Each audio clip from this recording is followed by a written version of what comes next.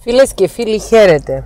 Έχουμε ένα πολύ κέριο ερώτημα ε, το οποίο είναι ερώτημα κάτω από βίντεο. Ε, που ρωτάει μια φίλη τι σημαίνει να είμαστε συναισθηματικά σφουγγάρια και πώς μπορούμε να αντιμετωπίσουμε αυτό το ζήτημα. Τι σημαίνει η έκφραση συναισθηματικό σφουγγάρι; Εννοείται ότι δεν πρόκειται για επίσημο όρο της ψυχολογίας και της ψυχοπαθολογίας, πρόκειται για ένα όρο της καθομιλουμένης, ένα όρο της pop κουλτούρας, ο οποίος όμως είναι πάρα πολύ εύστοχος. Συναισθηματικός σφουγγάρι σημαίνει ότι ένας άνθρωπος, ο οποίος σε οποιοδήποτε περιβάλλον βρίσκεται, δεν έχει καθόλου άμυνες και απορροφά τα αρνητικά συναισθήματα που διαχέονται στο περιβάλλον. Έχουμε μιλήσει και άλλες φορές για τους μηχανισμούς άμυνας. Οι μηχανισμοί άμυνας είναι αυτό ακριβώς που λέει η λέξη. Είναι μηχανισμοί που ενεργοποιεί ο εγκέφαλος μας, ο εγκέφαλος μας ή το εγώ μας κατά τον Φρόιτ, προκειμένου να μας προστατεύσει από τον πόνο. Και έχουμε διαχωρίσει και σε άλλα βίντεο τους μηχανισμούς άμυνας σε υγιείς μηχανισμούς άμυνας και συμβιβαστικούς μηχανισμούς άμυνας. Οι μηχανισμοί άμυνας είναι απαραίτητοι για να μπορέσει ένας άνθρωπος να επιβιώσει. Απαραίτητοι. Απαραίτητοι. Γιατί γύρω μας υπάρχει πάρα πολύ κακία και τοξικότητα. Ανέκαθεν υπήρχε. Δεν υπάρχει μόνο στη, στη σημερινή εποχή στην εποχή που ζούμε τώρα. Για του λόγου του αληθές διαβάστε την Παλαιά Διαθήκη για παράδειγμα, διαβάστε άλλα βιβλία, τα οποία προέρχονται από πολλά πολλά πολλά α, χρόνια πριν, από χιλιάδες χρόνια πριν, τα οποία περιγράφουν την ανθρώπινη κακία, μεταξύ άλλων. Είναι φυσιολογικό και αναμενόμενο να υπάρχει γύρω μας κακία και τοξικότητα. Γιατί είναι μια επιλογή. Το έχουμε πει πολλές φορές ότι ο άνθρωπος έχει δύο επιλογές για το πώς να ζήσει τη ζωή του. Ή ακολουθώντας το δρόμο της κακίας ή το δρόμο της αρετής. Λοιπόν, οι μηχανισμοί άμυνας, οι υγιείς μηχανισμοί άμυνας είναι απαραίτητοι για να μπορέσει ένας άνθρωπος να μην καταρακωθεί, να μην καταπλακωθεί από όλη την κακία και τοξικότητα που υπάρχει γύρω του. Χρειαζόμαστε δηλαδή τους μηχανισμούς άμυνας. Χρειάζεται να έχουμε ασφαλιστικές δικλίδες προκειμένου να μην απορροφούμε, να μην καταπίνουμε, να μην βάζουμε μέσα μας όλη την κακία και την τοξικότητα που υπάρχει στο περιβάλλον μας. Κάποιοι από εμάς, ίσως λόγω διαπαιδαγώγησης, ανατροφής, συμβάντων και γεγονότων της ζωής τους, της ζωής μας, μπορεί να έχουμε καταλήξει χωρίς τους απαραίτητους υγιείς μηχανισμούς άμυνας που θα μας προστατεύσουν από αυτή την κακία. Σε αυτό το βίντεο θα ονομάσω μερικούς υγιείς μηχανισμούς άμυνας, όχι όλους, και θα πω με πρακτικά λόγια πώς μπορούμε να τους εφαρμόζουμε για να μην κατατροπονόμαστε Λάκη, όχι. Όχι. Στο βίντεο αυτό θα κατανομάσω μερικούς α, υγιείς μηχανισμούς άμυνας και με ποιο τρόπο να τους χρησιμοποιούμε προκειμένου να προστατευόμαστε από την περιραίουσα κακία, από την περιραίουσα τοξικότητα. Καταρχάς, ο πιο, η πιο σοβαρή θωράκιση ενός ανθρώπου είναι η γνώση όταν κάποιος άνθρωπος μαθαίνει για το πώς λειτουργεί ο ίδιος, για το πώς λειτουργούν οι άλλοι, για το πώς λειτουργούν οι ανθρώπινες σχέσεις, τότε θωρακίζεται απέναντι στην κακία του περιβάλλοντος. Άρα, αν βρίσκουμε τον εαυτό μας να είμαστε συναισθηματικά σφουγγάρια, αν δηλαδή οπουδήποτε βρισκόμαστε, είτε στον εργασιακό μας χώρο, είτε στον οικογενειακό μας χώρο, είτε στο φιλικό μας χώρο, όταν υπάρχει αρνητικότητα, εμείς αυτή την αρνητικότητα να την παίρνουμε και να χαλιόμαστε, να χαλάει η ψυχική μας διάθεση, να χαλάει ακόμη και η σωματική μας υγεία, τότε πρέπει να μάθουμε. Να μάθουμε πολλά πράγματα για το τι εστί τοξικότητα, τι εστί ναρκισισμός, τι εστί κακοποίηση και για όλα αυτά τα ζητήματα τα οποία διαπραγματευόμαστε εδώ στο ψυχοεκπαιδευτικό μας κανάλι. Πρέπει να οχυρώσουμε το μυαλό μας με γνώση και η γνώση είναι δύναμη. Η γνώση που θα πάρουμε μέσα από τη ψυχοεκπαίδευση θα μας βοηθήσει ούτως ώστε να χρησιμοποιήσουμε το μηχανισμό της εκλογήκευσης ο οποίος μπορεί να είναι και υγιής μηχανισμός ή μερικές φορές μπορεί να λειτουργεί με συμβιβαστικό τρόπο να χρησιμοποιήσουμε με υγιή τρόπο το μηχανισμό άμυνας της εκλογήκευσης και όταν πιάνουμε τον εαυτό μας να επηρεαζόμαστε αρνητικά από περιραίουσα κακία και τοξικότητα, τότε να βάζουμε το γνωστικό κομμάτι μας, του εγκεφάλου μας, να χρησιμοποιούμε τη λογική μας σκέψη, ούτως ώστε να πούμε ουσιαστικά στον εαυτό μας ότι αυτό που σου συμβαίνει αυτή τη στιγμή είναι αυτό και αυτό. Αυτός ο άνθρωπος με τον τρόπο που συμπεριφέρθηκε δείχνει έλλειψη ενσυναίσθησης, άρα πολύ πιθανόν να είναι ένας νάρκισσος, σίγουρα έχει ένα ναρκισιστικό στυλ προσωπικότητας και όπως έχω μάθει στη ψυχοεκπαίδευση δεν παίρνω προσωπικά τα ζητήματα που αφορούν τις ψυχοπαθολογίες των άλλων και τις αρρωστημένες τους προσωπικότητες. Η γνώση είναι δύναμη και η γνώση μας ασφαλίζει. Θέλω να παρακολουθείτε όσοι, κυρίως όσοι εντοπίζετε στον εαυτό σας ότι έχετε αυτό το χαρακτηριστικό, να επηρεάζεστε από την τοξικότητα και την κακία γύρω σας, όσοι ανακαλύπτετε ότι είστε συναισθηματικά σφουγγάρια, θέλω να παρακολουθείτε με ιδιαίτερη προσοχή όλα τα βίντεο που έχουν να κάνουν με τη συνεξάρτηση, με τον αρκισισμό, με το ξεμπρόστιασμα και γενικά τα βίντεο στο κανάλι μας τα οποία βρίσκονται στα playlist τα σχετικά. Και η, η επανάληψη είναι πολύ βοηθητική. Επανάληψη μήτερ μαθήσεως έλεγαν οι αρχαίοι μου πρόγονοι. Όταν επαναλαμβάνεις κάτι το μαθαίνεις, όταν ακούς ξανά και ξανά και ξανά. Λοιπόν, πάμε τώρα σε ένα δεύτερο μηχανισμό άμυνας, υγιή μηχανισμό άμυνας που είναι το χιούμορ. Όταν βλέπουμε γύρω μας πως επικρατεί τοξικότητα και κακία, χρησιμοποιούμε το χιούμορ για να προστατευτούμε από αυτό που έρχεται κατά πάνω μας. Πώς μπορούμε να χρησιμοποιήσουμε το χιούμορ; Μπορούμε να χρησιμοποιήσουμε το χιούμορ για να αλλάξουμε τη συζήτηση, να κάνουμε αυτό που λέγεται deflect στα αγγλικά.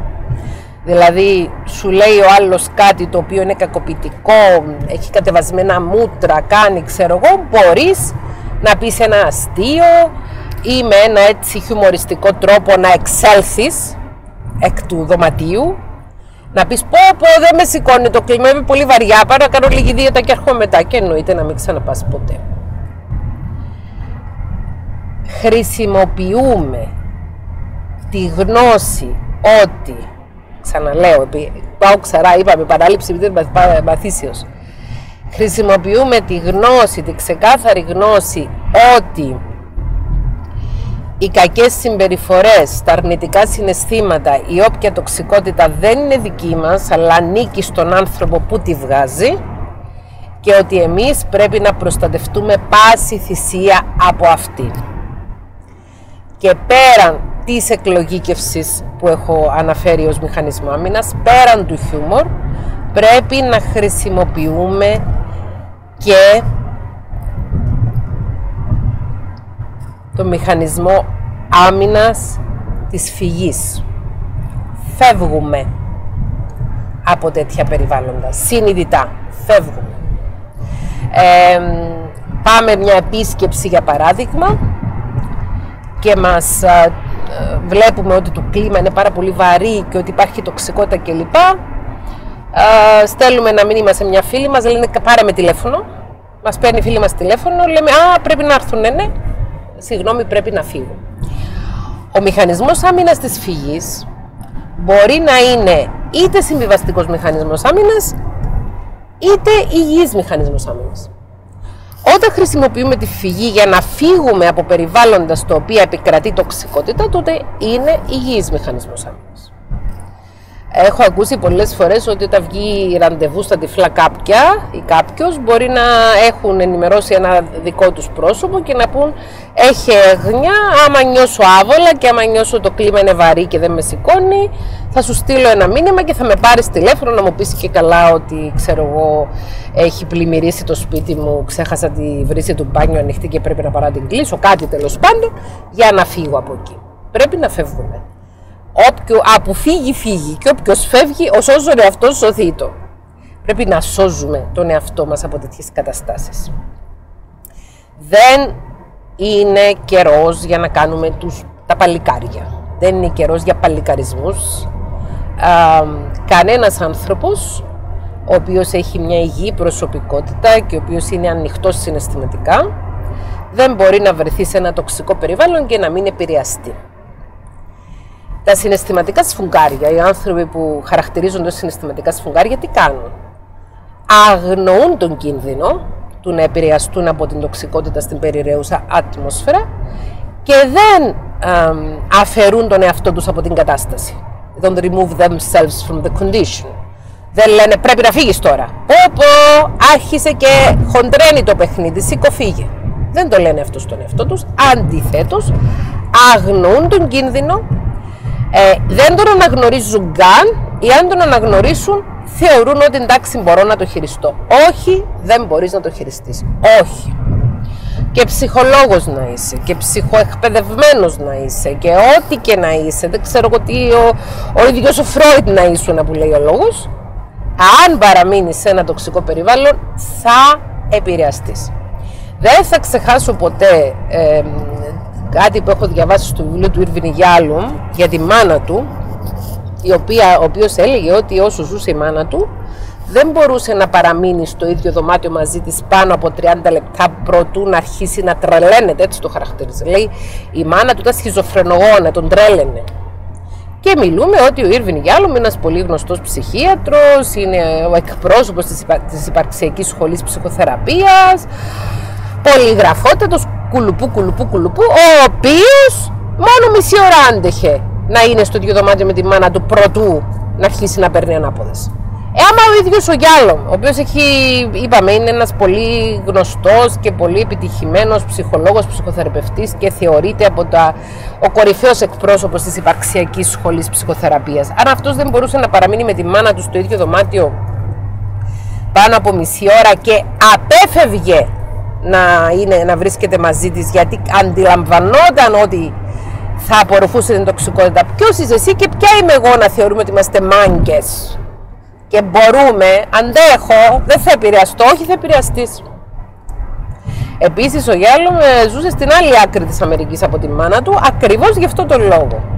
Για να μην βρίσκεται κοντά της και να επηρεάζεται. Φυσικά θα έλεγα εδώ ότι οι άνθρωποι που είναι συναισθηματικά σφουγγάρια είναι εξαιρετικά πιθανό να υποφέρουν επίσης και από τη σύνθετη διαταραχή μετατραυματικού στρες. Έχουμε μιλήσει συχνά πρόσφατα στο κανάλι μας για τη σύνθετη διαταραχή μετατραυματικού στρες.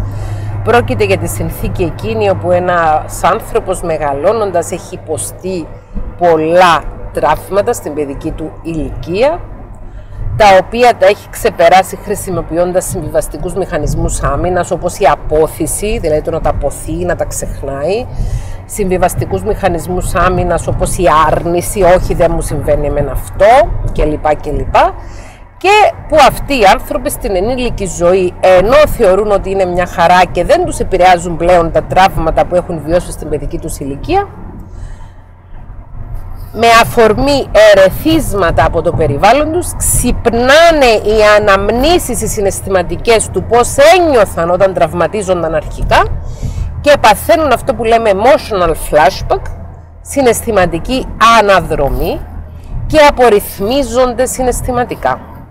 Άρα τα συναισθηματικά σφουγγάρια μπορεί να ε, μπαίνουν σε μια συνθήκη πολύ άσχημη ψυχολογικά επειδή η τοξικότητα που λαμβάνουν από το περιβάλλον να τους προκαλεί μια συναισθηματική αναδρομή και να απορριθμίζονται συναισθηματικά και μπορεί να είναι και πολύ μικρό το ερέθισμα.